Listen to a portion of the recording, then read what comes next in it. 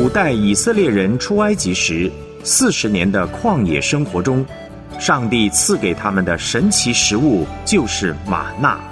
在二十一世纪的今天，上帝为属他的儿女预备的现代玛纳属天灵粮，就是圣经。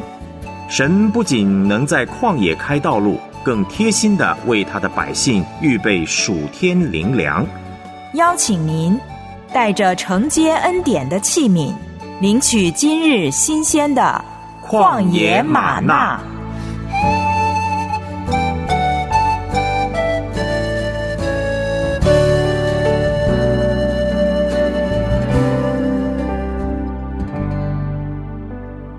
欢迎收听《旷野玛纳》，我是孙大中。哥林多前书十六章十三节，保罗说：“你们务要警醒，在真道上站立的稳，要做大丈夫，要刚强，不要逃避付出，只求与能力相等的工作，而要迎向挑战，求与工作相等的能力。求主用他的大能。”拖住每一天的生活，赐下信心和胆量，希望我们在他面前做完全人。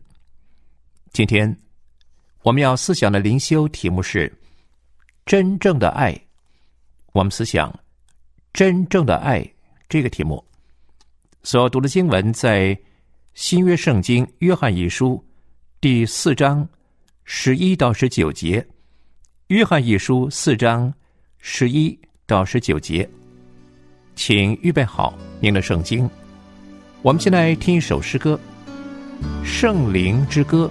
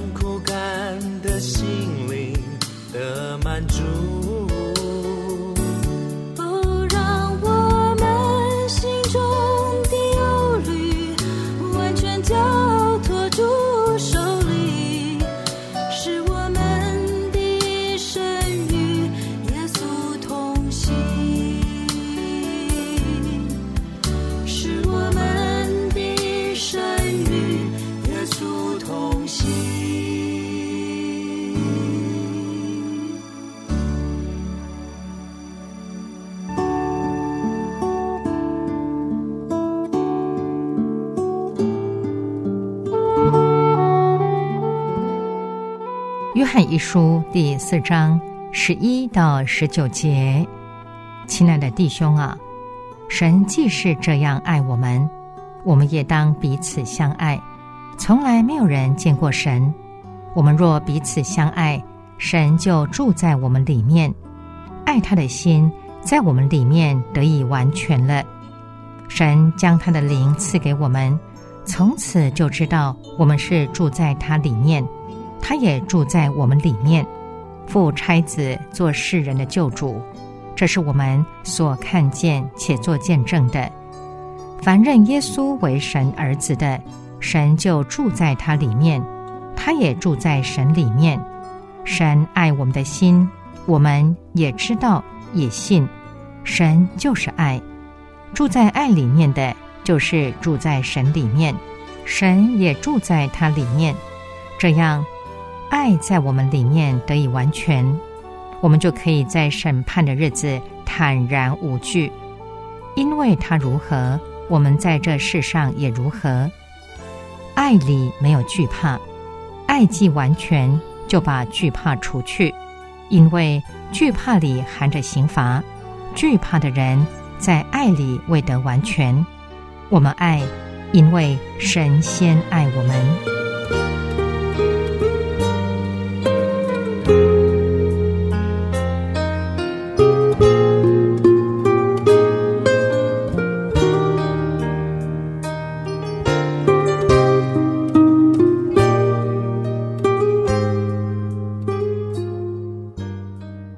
上是今天的灵修经文，《约翰一书》四章十一到十九节。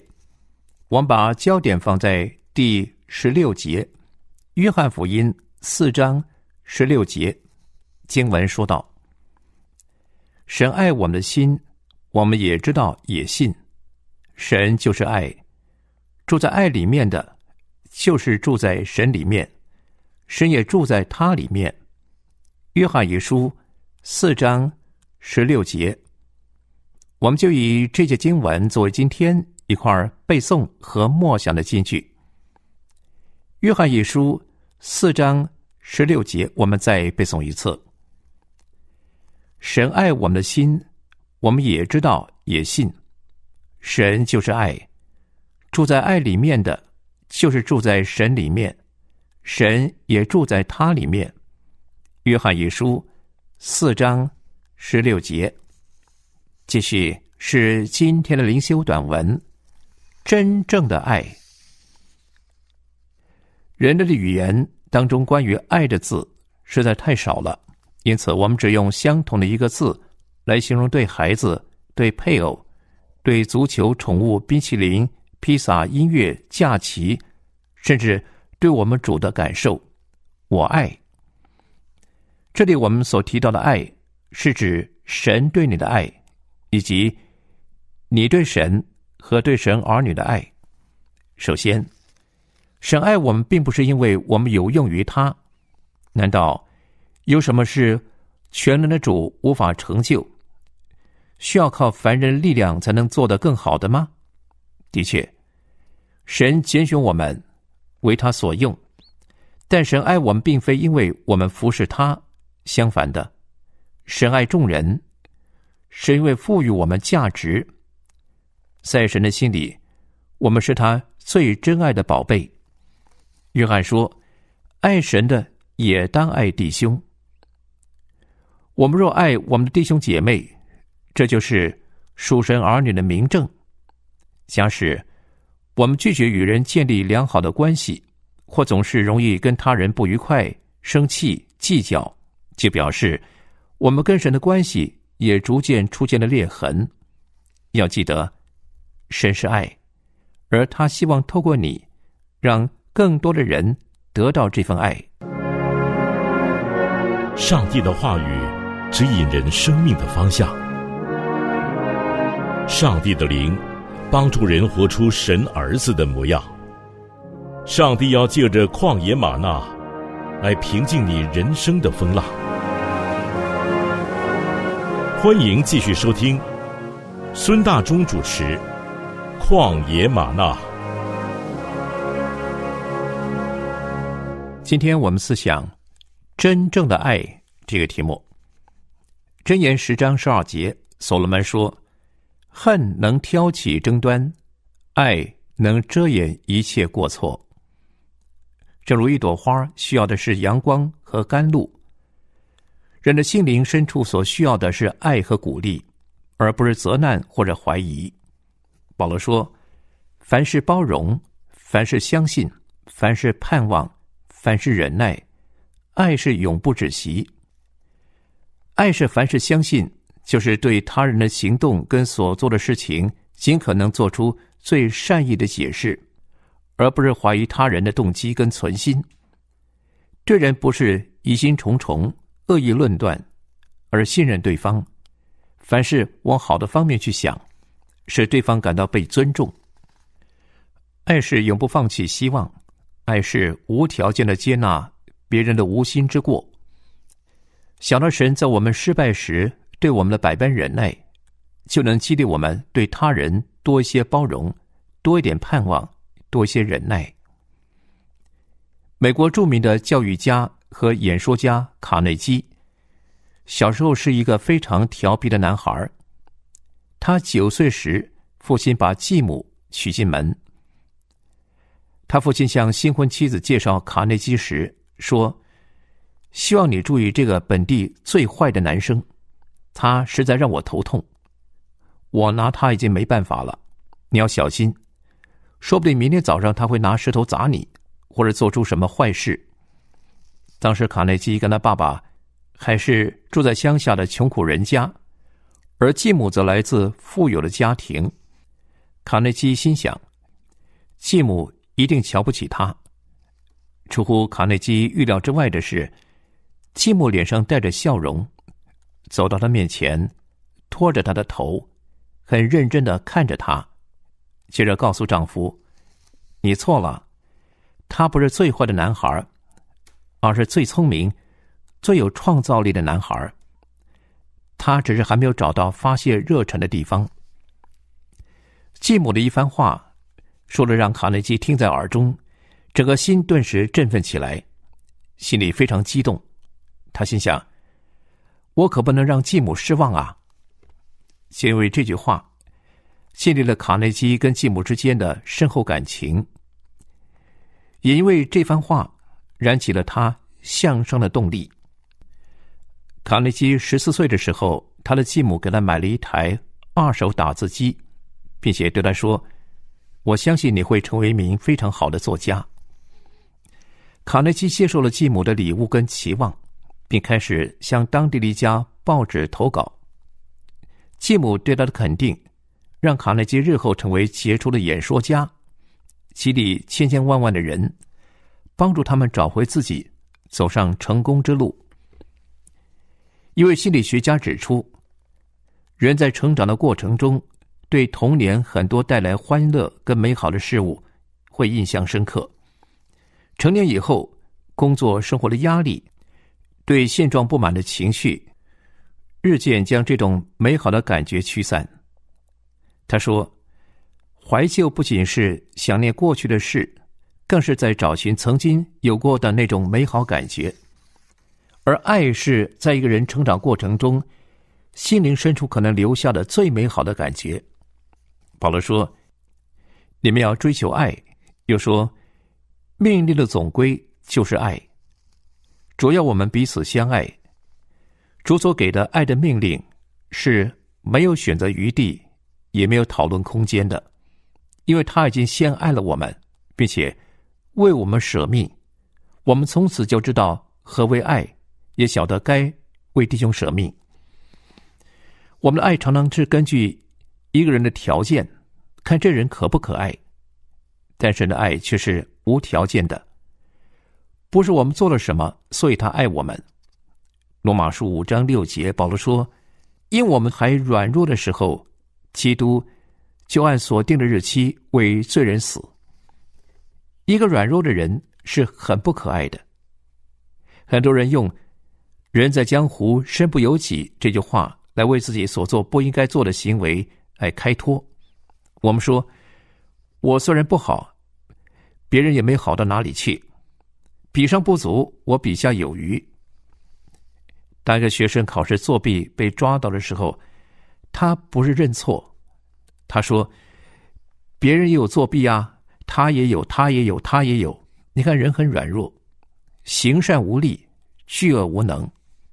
保罗说：“我们是已经卖给罪了，但神爱我们这些软弱不可爱的人。”罗马书五章八节，保罗又说：“唯有基督在我们还做罪人的时候为我们死。”一个犯罪的人，因为自己所行的是恶，不爱光，倒爱黑暗，他的心里是与神为敌的。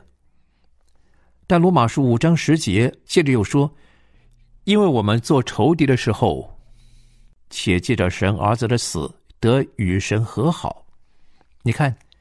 就在我们还软弱不可爱的时候，还做罪人，心中跟神为敌的时候，基督就为我们死。神的爱就在此向我们显明了。虽然我们那么不可爱，他还是爱我们，甘愿为我们这些绝望无助的人死。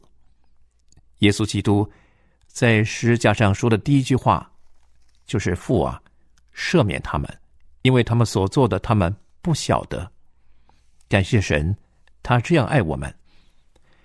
路加福音十五章第七节，耶稣说：“我告诉你们，一个罪人悔改，在天上也要这样为他欢喜，小比为九十九个不用悔改的艺人欢喜更大。”马太福音十八章十节，耶稣又说：“你们要小心，不可轻看这小子里的一个。我告诉你们。”他们的使者在天上常见我天父的面。一个卑微的小子，深夜顾念，就是讨饭的拉萨路，神照样派天使看顾他。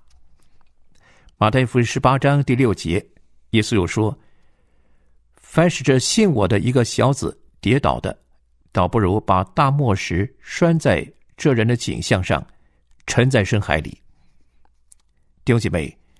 要做恩典流通的管子，不要发怨言、起争论，在口舌上犯罪，绊倒人。情绪会感染情绪。基督徒所说出小心的话，会影响他人陷入情绪忧郁、低潮或者焦躁，对神兴起怀疑。不要绊倒人，而要彼此建立，要谨言慎行，不可使神儿女当中的一个跌倒。主的兄弟雅各说：“若有人自以为虔诚，却不勒住他的舌头，反欺哄自己的心，这人的虔诚是虚的。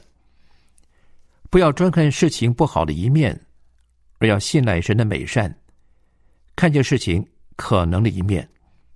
对人生保持正面看法的人，比爱看黑暗面的人能完成更多的事情。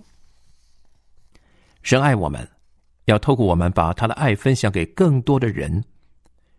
我们越认识他，越甘心把生命主权交给他，越让他参与，就越能流露他的爱。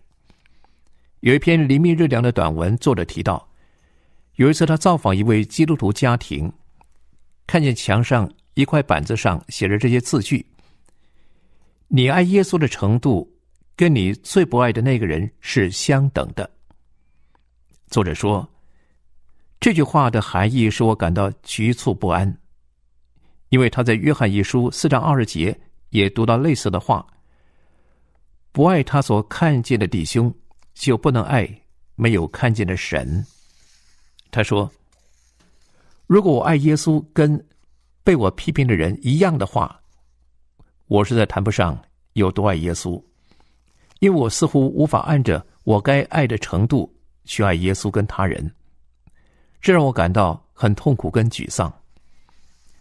他学到认识爱的关键，并非建立在他对神的爱上面，而是神对他的爱上面。约翰说：“神既是这样爱我们，我们也当彼此相爱。”作者说：“如今，当我无法爱人时，我寻求神的饶恕，我求他帮助我去向人表达那种。”他向我显明的爱，是的，我们既然蒙了神的恩典，需要脱离世上从情欲来的败坏，照着主所喜悦的，体贴主的心意，流露他的生命性情。我们可以有更多的祷告，求神帮助我们，能够向人表达他向我们显明的爱。在耶稣的时代，律法师是解释律法的权威。他们问耶稣：“谁是我的邻舍？”要显明自己有理。耶稣回答：“有一个人从耶路撒冷下耶利哥去，落在强盗手中，他们剥去他的衣裳，把他打个半死，就丢下他走了。偶然有一个祭司从这条路下来，看见他，就从那边过去了。”又有一个利未人来到这地方，看见他，也照样从那边过去了。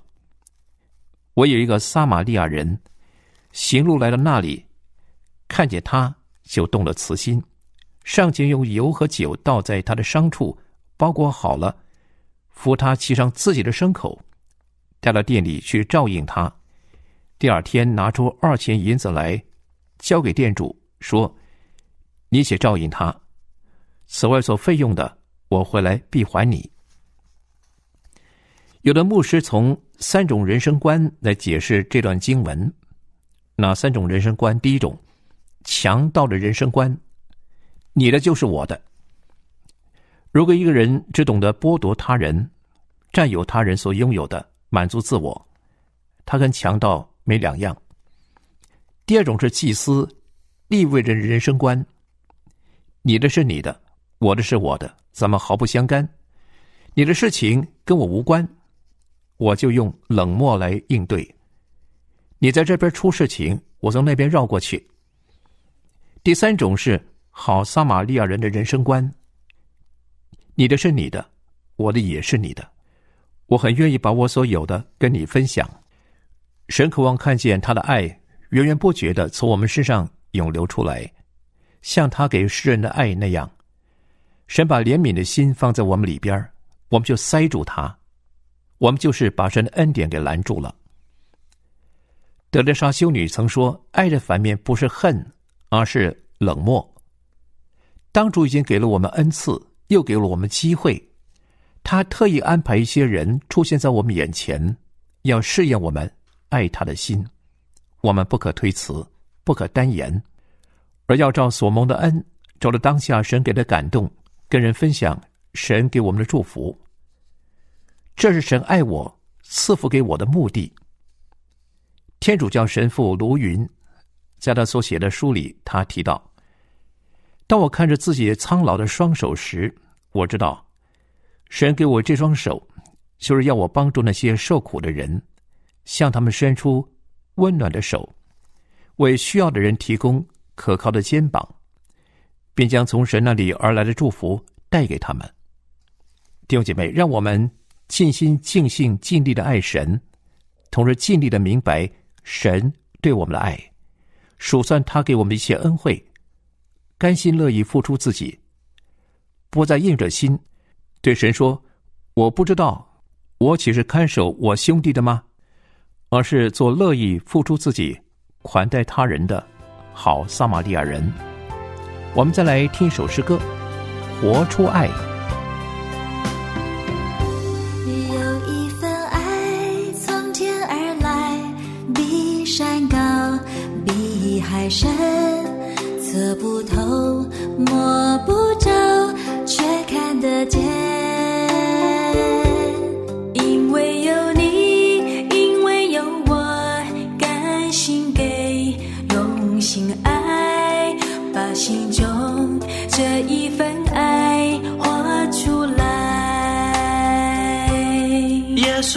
爱激励我，敞开我的生命，让自己成为别人祝福。耶稣的爱点燃我心中熊熊爱火，我们一起向世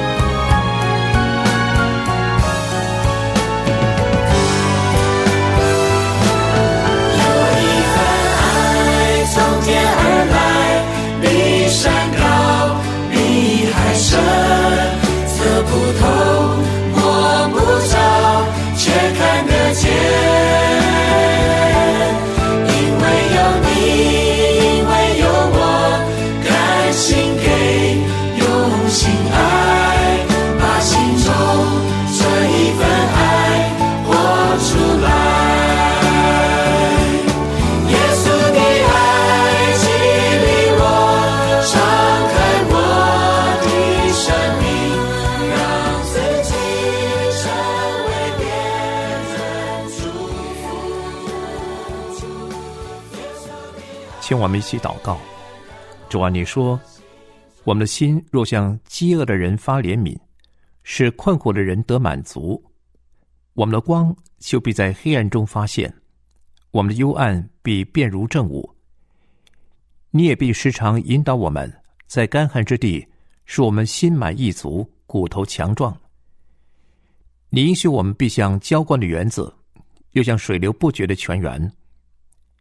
你要我们有了机会，就当向众人行善，向信徒一家的人更当这样。是的，凡有爱心的，都是由神而生，并且认识神。我们若爱你，就必然渴望更深的认识你，更加像你。你如何，我们在这世上也如何。求主赐我们敏锐的心，察觉自己的缺失，对人的没有爱心。更多留意到他人的需要，主动连续他们的困难，帮助我们靠你行善，以你为乐。求主照你的应许，将各样的恩惠多多加给我们，并在一切善行和善言上兼顾我们，使我们能够见证荣耀你。祷告祈求，奉耶稣基督的圣名，阿门。我是苏纳忠，下次节目时间空中再会，愿神。赐福给您。